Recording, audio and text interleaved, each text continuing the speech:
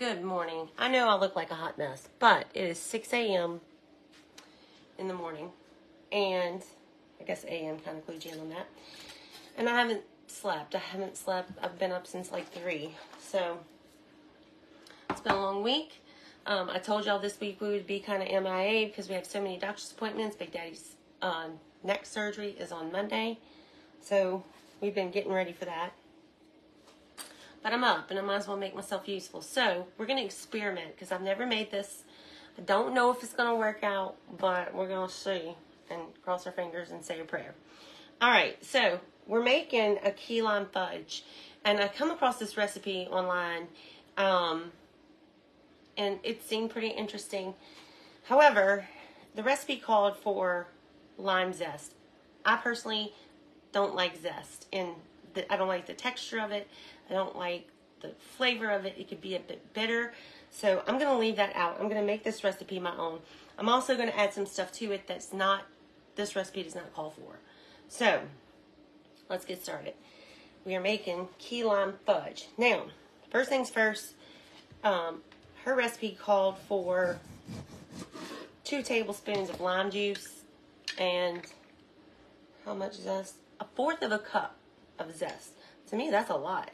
I'm like, no thanks. But to get that key lime flavor, you really need some lime flavor. So I have another alternative that we're going to try. I don't know if it's going to work. But I've already um, squeezed, I don't know, three or four limes. So I'm trying to get about two tablespoons here. We'll call that done. All right, now we're going to need um, her recipe calls for a five ounce can of evaporated milk. This can is 12 ounces, so I'm going to use about half of it.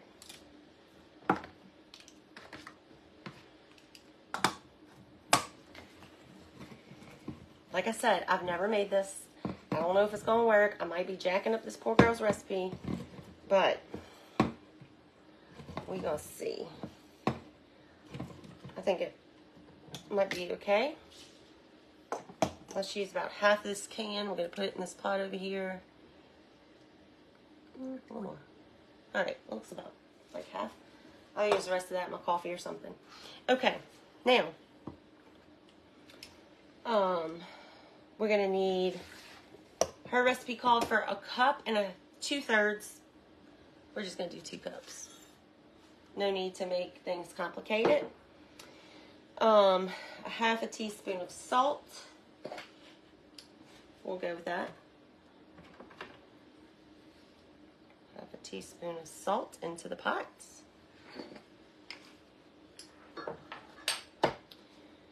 And then we're going to add our lime juice, about two tablespoons of lime juice in there.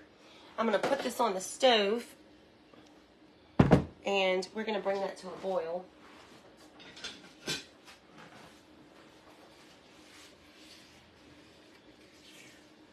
give a little stir first here.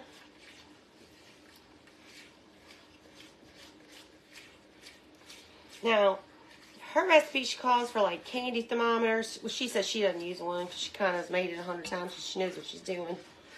Like I said, we're already experimenting, so we're just going to wing it. I'm going to put this over there on a medium-low heat and let that come to a boil. Well,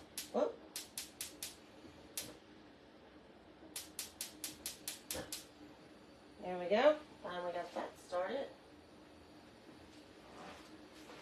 All right, now we're going to need some marshmallows cut up. And she says to use about 12. Two, three, four, seven, eight. So I don't know why we didn't just measure this. Was that two cups of, it's, I used two cups of sugar, just granulated sugar. So her recipe calls for 12 um, large marshmallows quartered. And I guess she quarters them because we're going to melt this in there. I guess she quarters them to help them melt down, which doesn't make sense to me because why wouldn't you just get the small ones? I don't know. But I guess it would be hard to measure how many cups of marshmallows because I guess they come in different sizes with different brands. So we're just going to do it her way. Actually, well, we gotta wait for that to come to a bowl anyway, so I might as well just cut them up. All right, so, wow, I can't believe we have 200 people on at 6 a.m. experimenting on dessert with me. Now listen, I don't know how this is going to come out, and we have to let it set. It's a fudge. So what we're going to do is, um, don't try this immediately. I'm going to put, and I'm going to go back and edit the post and say this was a win or this was a fail or whatever. And I'll come back and do another live too when it's done. But a lot of times, if people catch it on replay or something, they miss the, the second reveal live because I get a lot of comments. You never show us the results. I almost always show the results. Um, they just don't know how to find them. So I will put on there. I'm not. I won't delete the video, but if it comes out as a fail, I'll say do not try to make this. It did not come out. I gotta watch that over there, so I'm gonna go stir that real quick.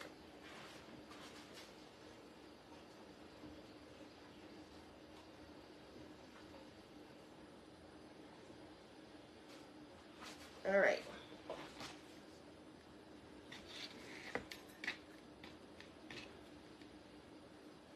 So back to what I was saying, her recipe calls for um, some zest. I don't like zest. So we're trying to do this without using lime zest. We're making key lime fudge, or trying to. We'll let you know how it turns out. I've never made this before. Um, I came across the recipe and I'm just trying to make it my own way because 720 here, East Coast. Yep. Lord, think about our California people. Anybody from the West Coast on? That would be what? They're like three hours behind us. They would, they would be a night owl, like I was last night. I didn't sleep good the last two nights, but Daddy had to spend the night in hospital last night to do his second um, to do his second um, sleep study. So when he's not here or with me, I, I don't I just don't sleep good. You know, you get used to sleeping next to somebody. So I, I missed who it was, but she said if she had a knife in her hand this early, she'd cut a finger off. I've been up for a while. I'm not like 9:20 p.m. in Melbourne. Oh, Miss Vanessa. So you about to hit the sack, and everybody else is just getting up. Good morning, Miss Jeannie from Georgia. Now I'm just making a sticky mess with my fingers here. But I'll tell you, ripping them is much easier than the knife. Like I said, I'm not sure why you even need to do this. But that's what she said, so... She said about 12 large marshmallows. And marshmallows come in different sizes. They got the small ones, they got the regular ones. Hey, Heather. Um, and then they got those jumbo ones that you use for s'mores. But they said jumbo, so I got regular, thinking maybe that's large. If we don't like the consistency, we can always add some more marshmallows. All right, let's check out what's going over here. Going on over here. Ooh, yeah, we're bowling. All right, so I'm going to take this off the heat just so I can show it to y'all and show you the next step because this is where I got cre creative. I want something here. Um, hmm. Hold on, let me grab a pot holder if I can find one. And I cannot. So, I know, you're all like, why aren't you prepared? Well, it's 6 a.m., so there's one reason. And number two, I probably wouldn't be anyways. Let's just face it, it's just who I am. Alright. So we're going to take this off of here. We got this on going on a low boil. Now, to give it that key lime flavor without the zest, I'm going to add a box of lime jello. I know it's weird to milk. I don't know if it's gonna work. We'll see. This could be a huge fail. But you know, you don't know about recipes till you try them. So we're gonna see. Put that whole thing in there. And I'm using ins uh no it's not instant. It's lime gelatin dessert. I just got the Walmart brand, three ounces. Seems to be melting fine in here. Now it says on the jello packet to cook this for two minutes and let that get all dissolved. So I'm gonna switch to a whisk. And now y'all can't really see in here, but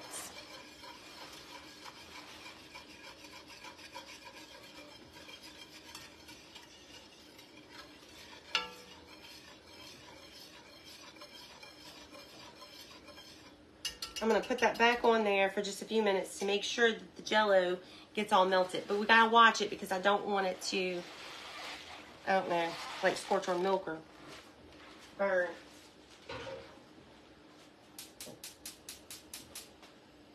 Oh, shoot. I turned it off. I'm going to explode my house. That is not working.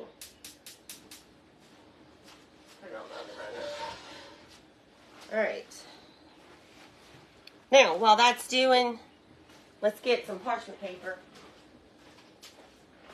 She says in her video, or not video, but on her website, she says she uses buttered aluminum foil.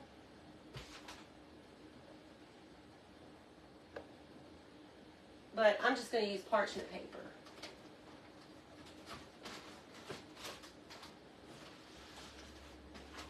Okay, the next thing I want to tell you is um, she says to use an 8 by 8 pan. This one is a 7 by 8 She says not, very specifically not to use a 9 by 9 because then your fudge won't be very thick. So, we're going to go with that.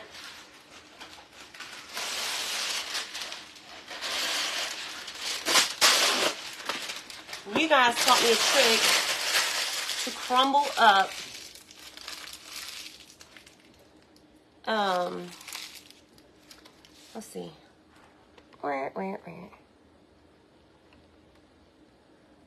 Um, uh oh. Tammy, girl, I will definitely keep you in our prayers. And please keep me posted on what's going on with that. Because I want to know. And it, it looks like somebody else said me too. I don't know if they're Me Too and because they're having the same issue or if they're Me Too and because they have the same, or I'm not sure. So I'm going to go back and look at that a little closer and then um, we'll keep both of you guys in our prayers.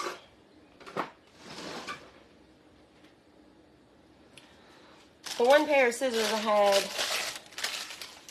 out, I just put in the doggone dishwasher. So I got these, but they're the like the, you know.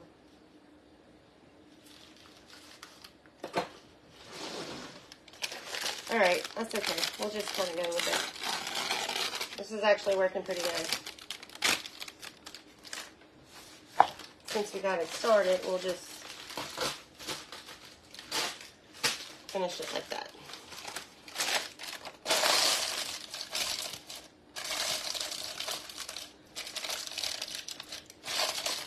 All right.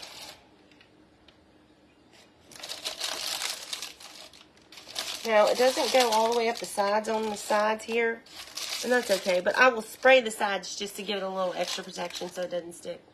But we'll see how that turns out. Let's check our soap over here. It's boiling. Let me give it a stir.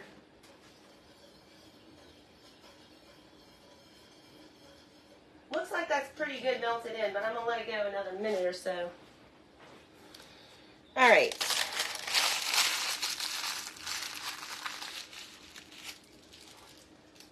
Now you're going to need about two cups of white chocolate. Now, I didn't, I really didn't want to use this. I wanted to use my almond bark, I know y'all gonna kill me because I just used my teeth to open that, but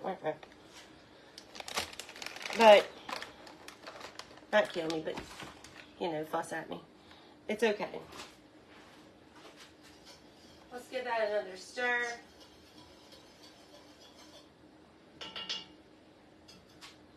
I figure it's probably been pretty close to two minutes, and if not, it's close enough. So, let's bring this pot back over here.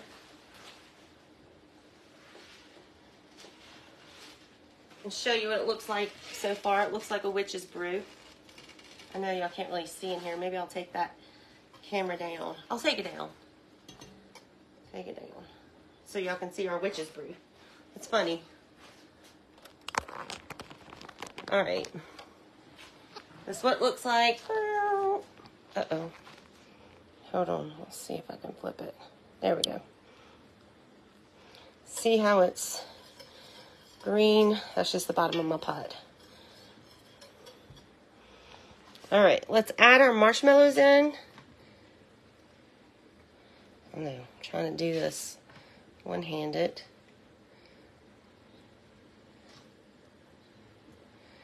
And we also need to add in our chocolate chips. Now my hands are sticky. This bag is about two cups, so I'm just going to put the whole bag in there. I'm going to put you guys back on the stand.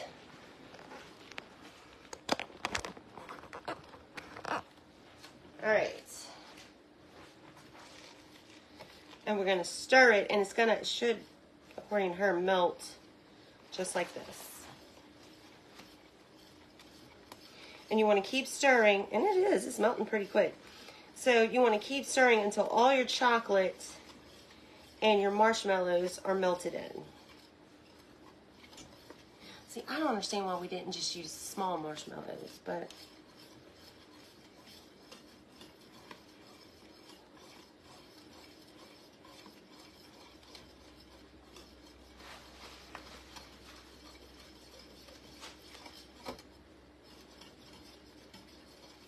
that couple This might not even turn out. We are going to have to just see.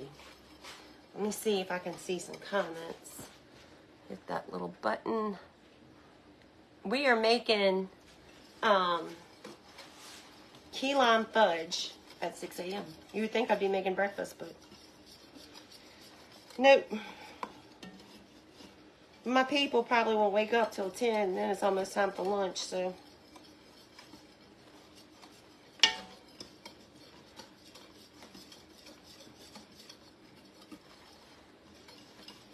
we haven't been doing a lot of cooking this week because we've been running the roads. And actually, the last couple days I was sick. But you know what I think is wrong with me? I think I have an ulcer from worrying too much.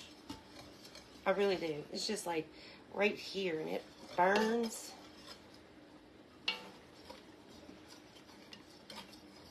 So I just eat my Tums and Prilosec and pray. You know how it is when you got somebody to take care of, you don't have time to take care of yourself. Okay, this is really pretty. It's very, um, I don't know. I'm about to pour it in there so you'll be able to see it.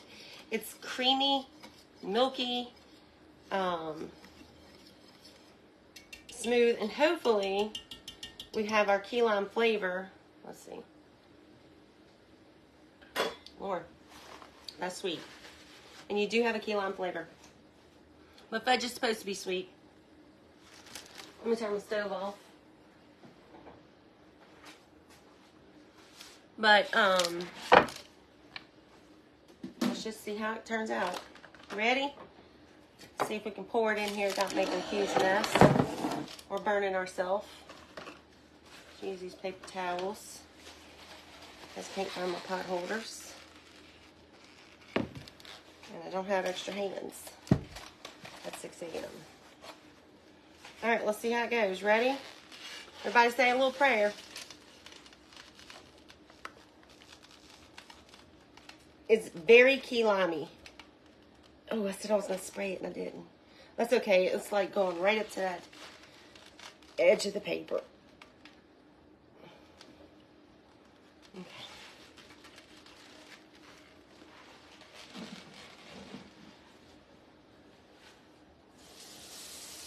Marshmallow stick, so we'll start running some water on that now. Okay, now we're going to stick this in the refrigerator and um, see if it sets and see how it turns out. So what we'll do is we'll come back live after I cut it. Can y'all see in there? I mean, it's so pretty. It's very creamy, but I want to shake it around because I don't want my paper to get... We're going to stick it in the refrigerator, to let it set. We'll come back and uh, I didn't spray it, okay, I forgot. But it's it's fine. It's lower than my sides of my paper, so it's okay. Um, I think. I hope. Anyways, once it sets, we'll come back and do another live and show it to you. And if it's not good, I will tell you um, in the description of this video, do not make this because it's, but I'll, I'll tell you the truth. But I hope you got a sweet tooth because it, it seems pretty, uh, pretty sweet. Oh, look, she's brand new to the page. This morning I'm just going to, it's sweet.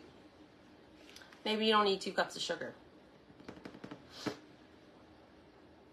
Marshmallows can neutralize acid in your stomach. I'm to have to try that. I got a whole bag here, half open. All right. So let's see how this turns out. Um, I know we got a lot of big time sweet eaters. Yeah, I have a feeling this is going to be too sweet for me. But, ooh, my refrigerator is full. Let's take this out. We'll take our eggs out and we'll put them in the outside refrigerator. And we'll stick our key lime fudge very gently so it doesn't go over those edges. Ooh. Have marshmallow on it. You know what? We'll just take it with us.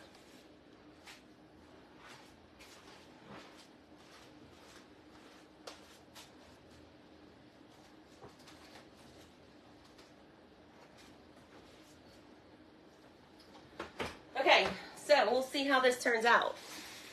Um, the original recipe, if you want to follow this girl's recipe, her, let's see what it says on here. Okay, so this one is www.recipegirl.com and it's the key lime fudge. Hers is definitely a different recipe than mine, but like I said, hers called for a lot of lime zest. I'm not crazy about lime zest, so we'll see. Is the cookbook out? Yes, you can. Oh, can I still order one? Yes, you can order one. It is not. I have not gotten it yet. I'm expecting it at the end of the month, and once I get it, I'll start shipping it out to you guys immediately. I'm pretty excited though. I'm a little nervous, but I'm pretty excited. You can still order one, and I'll put the link back up on the page because um, I did order extra. Poor little Tammy. I'm gonna keep praying for you, girl. All right. So, in the meantime, I'm gonna go maybe brush my hair and put some Maybelline on or something. And uh, so next time I see you, I'll look a little cuter. Um, and I will be back and let you know how this recipe turns out. Oh, she says, the recipe girl here, she says she adapted her recipe from Southern Living. And I adapted mine from hers. So, there you go. I'm going to start typing this up. Well, not this, but typing up my recipe. So, in case it comes out, um, the cookbooks are $24.99. Um, in case it comes out, fine, and I'll have it all ready to go. If not, I could just throw it away. I know, 500 people watching at 6 o'clock in the morning. That's great. Might need to do some more early bird stuff. Okay. All right, so I will see you all um, a little bit later. Y'all have a great, great day.